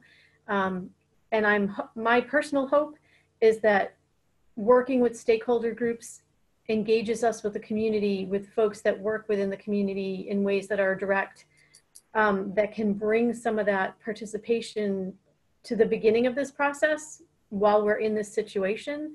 Um, but also, I'm hoping that over that time, there will be ways to engage, like some of the technology will evolve very rapidly because I think there are some opportunities out there. I just don't think we've been able to incorporate them quite yet.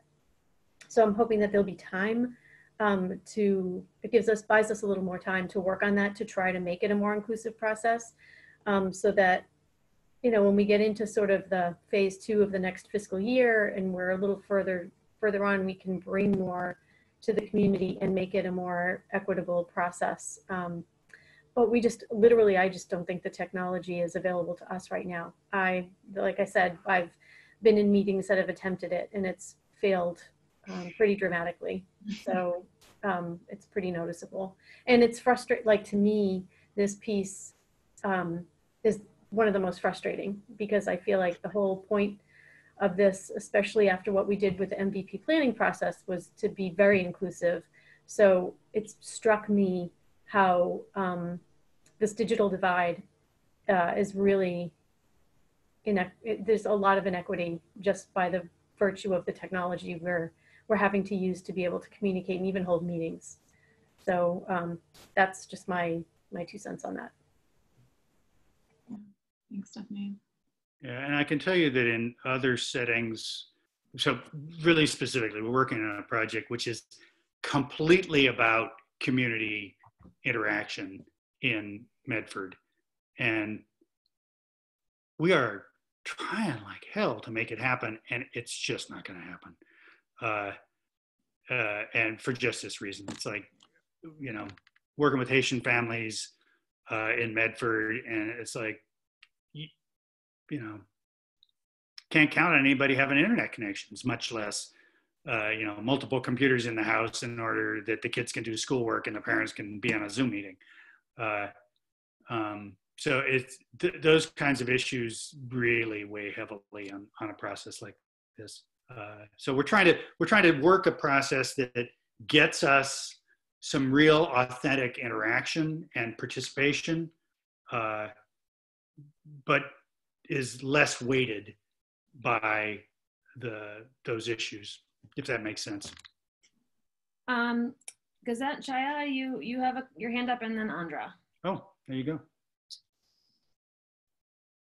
Hey everyone, I, I don't have video right now, but I was just going to throw in another two cents echoing what Jim said about access to technology, access to internet, and also there are cultural barriers to folks having um, a the presence of someone else in their home uh, via video or audio that there are more complex than are worth going into right now, but there are cultural barriers to that.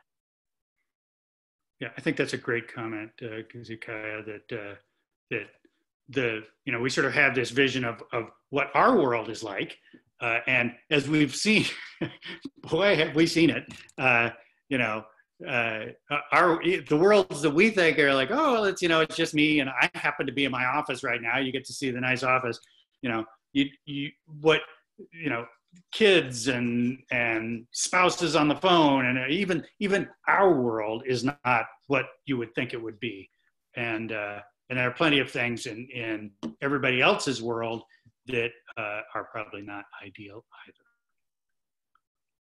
Andra, do you have something to add? Um, so um, yeah, I don't think that we should be trying to work with fancy technology. I think we should get on the phone. That's the way to organize right now. And um, everyone has a phone and it is a more chaotic time, but if you, you know, get somebody for 15, 20 minutes on the phone, you can, with a real, you know, directed kind of conversation, you, you can make some use of it. Um, but I'm thinking about how right now, you know, yeah, you can't reach everybody. I know that teachers are having a hard time reaching all of their students. Um, and the teachers may be a really important um, resource for us to use because they are, you know, reaching out to families at least um, in all different, every possible circumstance. Um, so I'm wondering if we might need to, given what's our situation, might need to shift some resources into actually getting people who are already making calls, trying to reach out to families they are working with, not just organizations, because most people are not actually affiliated with an organization. So, yeah. I think we mean working with like, I, I think like you're bringing up teachers, this is a good example. I don't think anything that was discussed is saying that the initial stakeholder meetings are going to be the one that make the final decisions or provide the only input. It's just a place to get started to maybe identify some things to bring out to more community members. I love the idea. I mean, I, well, I love the idea of the telephone calls, but again, I think it's going to be challenging because again, you have to, in my mind, these meetings have to include interpretation. And, you know, we have to make sure if we're going to be inclusive that we provide translation for people. So, you know, that's, it's going to be challenging. And I think um, that's why maybe starting with these stakeholder groups where that might not be as much of an issue. Um, and I would consider teachers a stakeholder group at this point, you know, that they are. So um, I think that's a really good point, Andra. I just think we have to, you know, these are details I think we can sort of work out in as we move forward, but just things to bring up. But, but that's a great, a great idea. Yeah, I love that thought. Yeah, I think there's a couple hands up. I think that, um, you know, I think the first step here is, you know, we've got about 10 minutes left of the meeting. So I want to move forward a little bit. We've got our first step here is really you know, identifying these task groups and what community members, individual in members or groups we want to bring in to these groups. And we have no idea what we had no idea a month ago when we last met that we'd be in this situation. We have no idea what a month from now is going to look like. So I think we may end up needing to do outreach over the phone and through other means. Um, and I think those are all good ideas that we need to keep on our in our plate. But um, I don't think we're going to solve those those today. Um, No, but the, but the ideas I think are valuable. Yeah, yeah, yeah. And I and I I hope that we can do these meetings in person or at least some of them in person. Um, but I also don't want, I think Darcy, reading in between your comment, I don't want us to wait to hold something in person and hold off the process. So I think we need to balance those those things. Absolutely. Um, Jesse, or you're good. Okay. Any any other comments?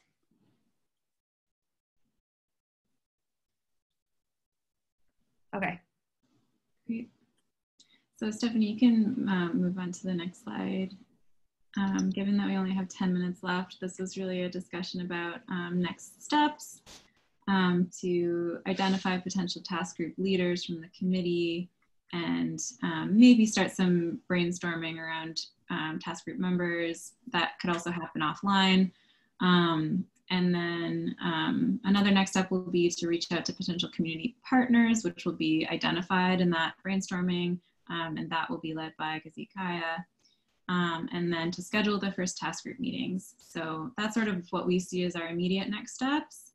Um, but I know we wanted to leave some space for more discussion um, at the end. So Jim, you Laura, I was just going to say, Laura, um, this is sort of um, sort of hand it back to you. Uh, you know, we, we did talk some about uh, the the um, ta- the task groups, and uh, I, I'm not sure how you want to handle that.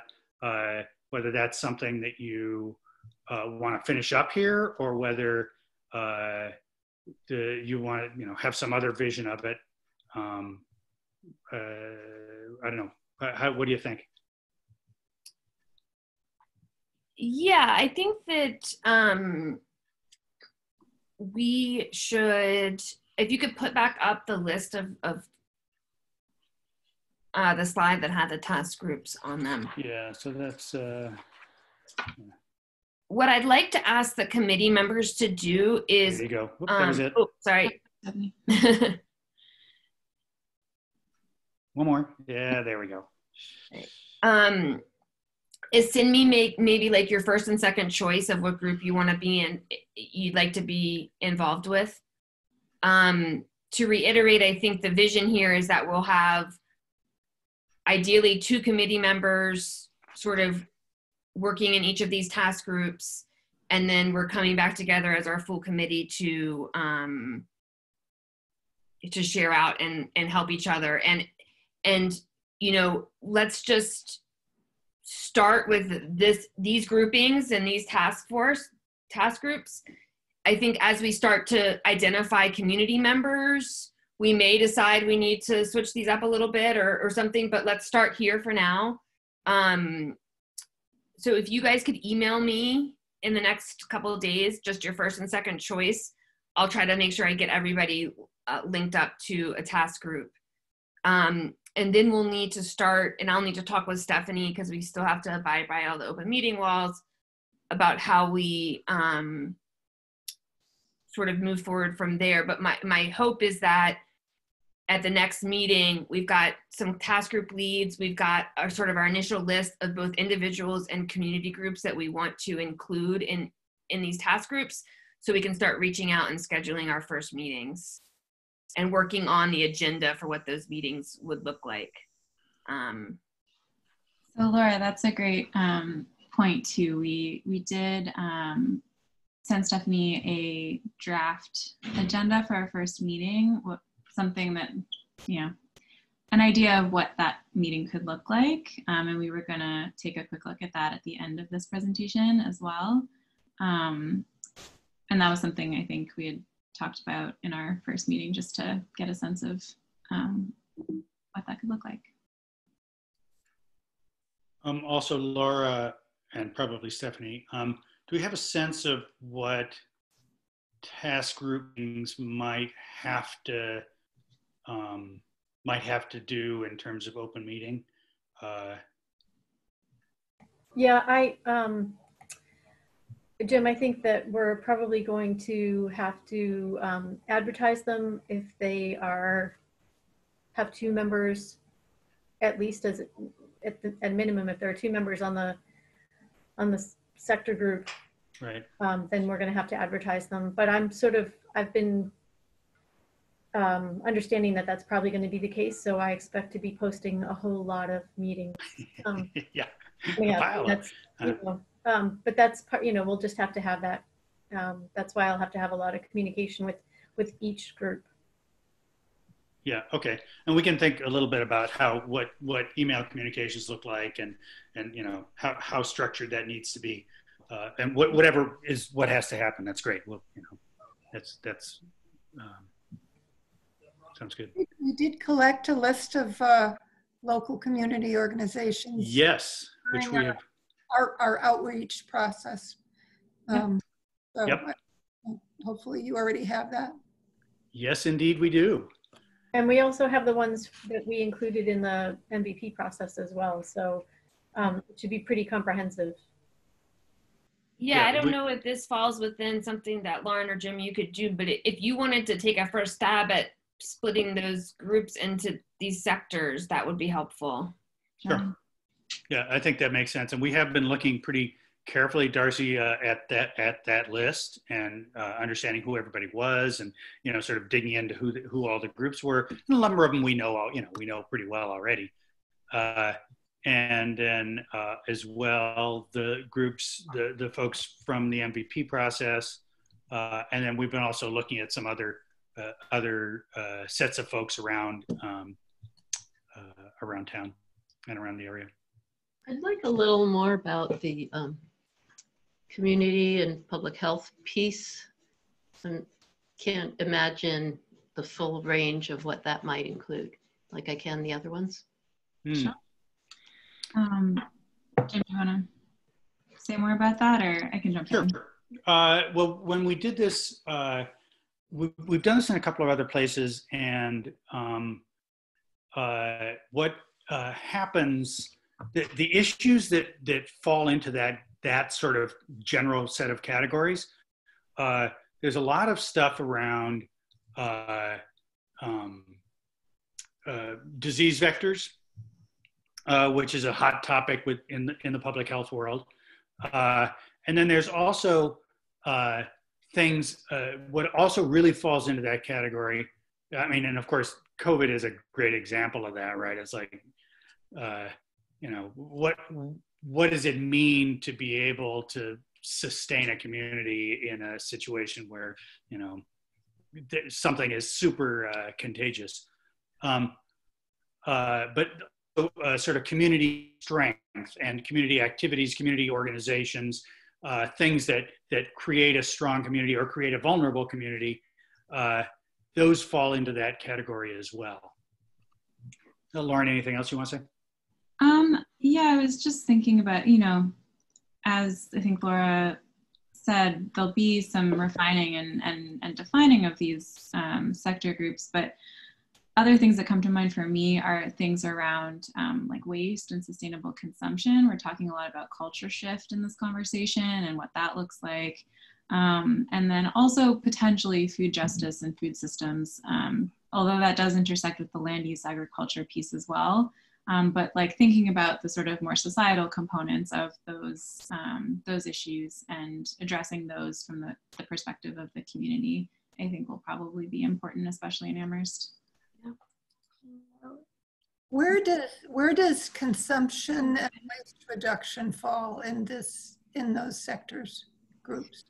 Yeah, we've been debating that one. Um, I think a case could be made for multiple different areas um, when you think about waste infrastructure versus the impacts of waste on public health. Um, you know, land use. It, it's um, Yeah, it's it's either uh, from our perspective, waste. Uh, so consumption is definitely within the community and public health realm. Uh, waste i- itself as a um, is probably in that category. Uh, although there's probably some argument to me, you know, from the from it, from the city if if uh, if the town of Amherst uh, is dealing with waste as you know sort of one of the sort of services uh, that you know is kind of like roads and schools and uh, that then well it probably falls in infrastructure. So there's probably uh, we might you know as part as a committee we might decide oh waste really falls in community or eh, waste really falls in in uh, infrastructure but uh, and this is always the case you know you're always in these situations where you, you always end up back at the point where you sort of say well why don't we just have one committee that has everything uh, and it's because it's too much to do Oh, really? Yeah, it goes back to Jesse's diagram. I liked that a lot. Yeah. All connected, so it's very hard to sometimes break it out into specific categories. But um, so we do our best and you know we, we do what we can and uh, and try and make sure that you know there's enough communication that things that cross boundaries are pretty well handled Have you all written up anything? Um, I can't remember, Lauren, if, if you had written up anything more that included the pieces that you think would be in each of these sectors. Um, I did send Stephanie um, an overview, which I'm sure we can share, um, of what this first phase would look like that has a little bit Yeah. more detail there. Yeah. Okay, maybe we can circulate that um, yeah Definitely. with the with the names of the of the sectors, and then um, and also task you, if possible, with with sort of the first stab of of breaking into the the different community groups that might or stakeholders that might fit into the, these different task groups. Yeah, absolutely. And actually, Gazikaya has already been doing some great thinking about that. So I think we're off on a good foot there. Great. Um, so I'll follow up with an email with with that, or Stephanie will. Um, and so, in terms of the agenda for the next meeting, it will be really sort of working forward to have our first task group meeting, um, and narrow down those task groups a little bit more. Does anybody have anything else they want to add for the agenda for next time? We might, we might want to um, just figure out where, um, where the town is with the budget and see if we need to do any advocacy on our budget request. Good, good idea. Anybody else? Um, w- w- some of us looked at, um, other climate action plans. I think, um, we should probably have some highlights from each of us, what we read. Yeah, great idea. uh, we were going to do that at the beginning we totally uh, totally forgot about it so sorry That's okay. We can uh we can do that. All right. Any anything else? I'm about to get kicked off. Thank you so much, Linnea, uh, for driving out to Amherst. Happy to be there. Hey, you know i really miss driving out to amherst it's really a bummer it's uh, uh yeah but thank you lovely to see everybody and thank you uh it's you know it's a very exciting process Yeah, great to meet everyone, see familiar faces, and looking forward to the next steps. Good to see you, Lauren. Yeah, me too. Yeah. All right. Yep. Thank you all. So Laura, you and I should follow up on Friday? That sounds good. Okay. Okay. Bye, everybody. Nice to see you all. Bye. Be well. Bye-bye, everybody.